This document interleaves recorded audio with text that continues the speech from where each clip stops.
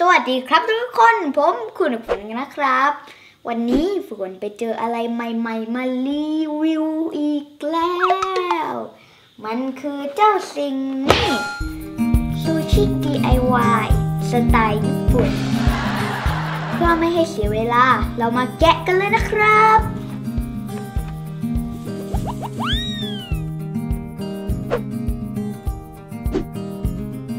ข้างในนี้มันก็จะมี พวกผงหลายๆอัน แต่ว่าเดี๋ยวค่อยไปดูเอาว่าเขาให้ใส่ผงอะไรบ้างที่น่าจะเป็นผงของน้ำมัน นี่ไม่รู้เหมือนกันว่าอะไร แล้วก็แบบนี้อีกแล้ว เป็นดินน้ำมันกินได้สไตล์ญี่ปุ่น สีดำน่าจะเอาไว้ทำสาหร่าย แล้วก็ ดูน่าสนุกนะ แต่ต้องดูก่อนว่าเอาไว้ทำอะไร ของพวกนี้นะครับ ถ้าซื้อมาแล้วอย่ารีบทิ้งกล่องนะ เพราะว่ามันมีคู่มือบอกอยู่ถึงแม้ว่าเราจะอ่านไม่ออกเขาก็จะมีรูปให้นะครับนี่เราก็สามารถรู้ได้ว่าเขาให้ทำยังไงบ้างงั้นเรามาลงมือกันเลยครับ อันนี้ต้องใช้น้ำเป็นอุปกรณ์เสริมด้วยนะครับโอเคอย่างแรกก็เขาให้ใส่ลงไปในวงกลมอันนี้ ไม่รู้กล้องเห็นไหมนะวงกลมอันนี้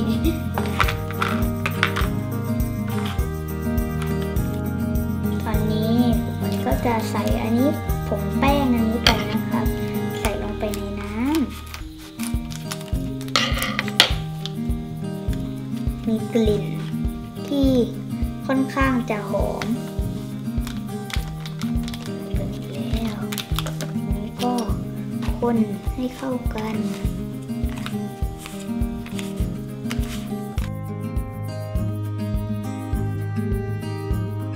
หน้าตามันเหมือนแป้งอะไรสักอย่างนะครับ แต่ว่ามีกลิ่นหอมหวานๆด้วย มันเป็นข้าวข้าวซูชิ แล้วข้าวซูชิมันต้องหวาน แต่ว่าก็ไม่ได้มีกลิ่นแบบนี้นะครับซูชิจริง ๆ นี่มันหอมเหมือนขนมเลย ต่อไปเราจะทำหน้าซูชิกันนะครับเพื่อผมจะทำฝั่งนี้ก่อนนะครับ ฝั่งนี้เป็นไข่หวานสีเหลือง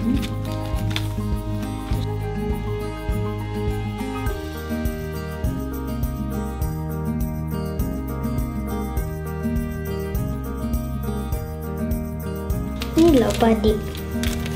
สีชมพูเชียวอ๋อใช่นี่ไงสีปลาดิบ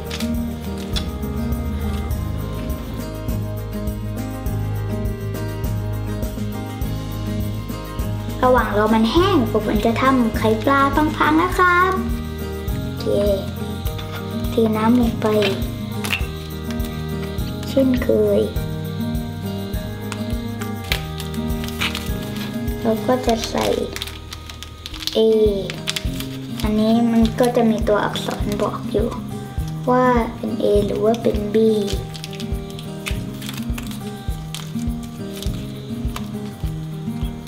เราก็จะเอา A ใส่เข้าไปใน A นะครับ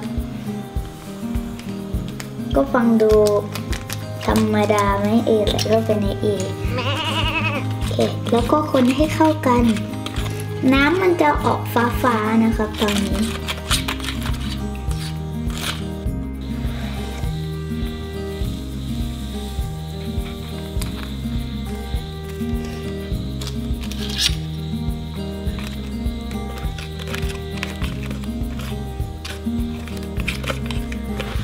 หลังจากนี้เราจะ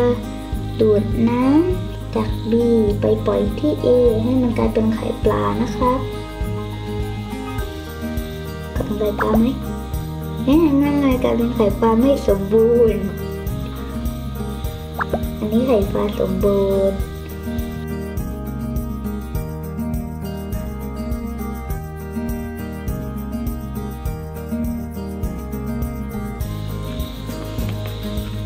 อืมมันออกมาเป็นลูกกลมๆแบบนี้ลองชิมดู ชาติไม่เหมือนไข่ปลาแต่ว่ารสชาติเหมือน อะไรสักอย่างที่มันหวานหวานระหว่างที่พวกนี้มันยังไม่แห้งอีกนะครับทุกคนก็จะทำสาหร่ายพลางๆ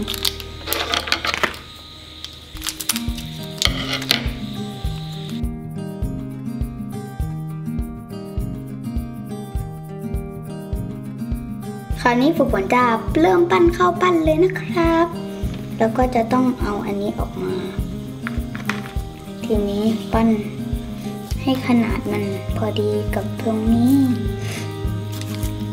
ใหญ่ๆหน่อยน่าจะดีกว่านะ เพราะว่าชิ้นอันนั้นมันดูใหญ่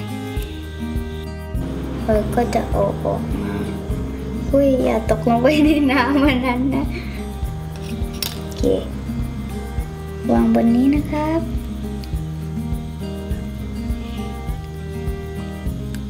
ได้แล้ว เอามันเกือบจะล้มอีกแล้ว แต่ว่าได้แล้ว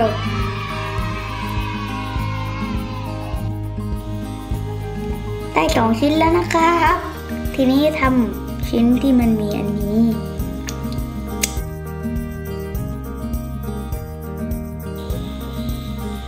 ออกมาแล้วนะครับ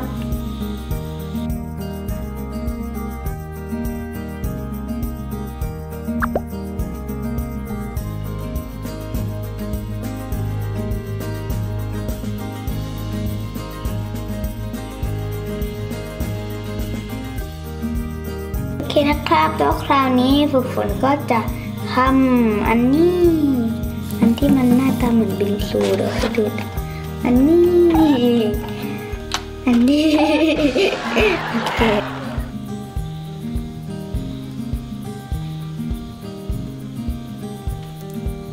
เคชั้นที่สองมันน้อยกว่าชั้นที่หนึ่ง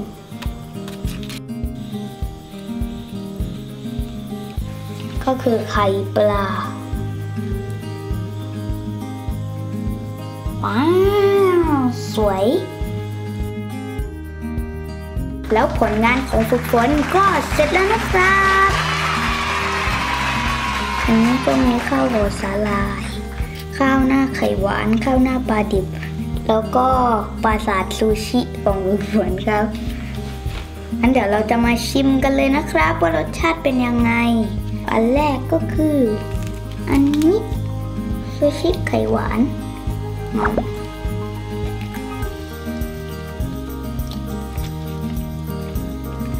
หวานแต่ว่ามันไม่ได้หวานกับไข่หวาน มันหวานกับข้าว อันต่อไป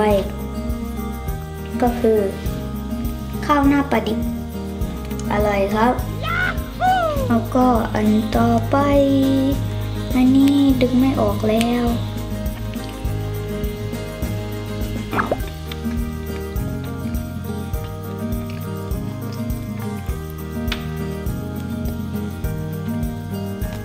แล้วสำหรับชิ้นสุดท้ายของวันนี้นะครับ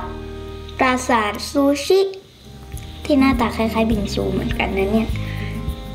ผมจะกินไปมันเข้าไปเลยนะครับ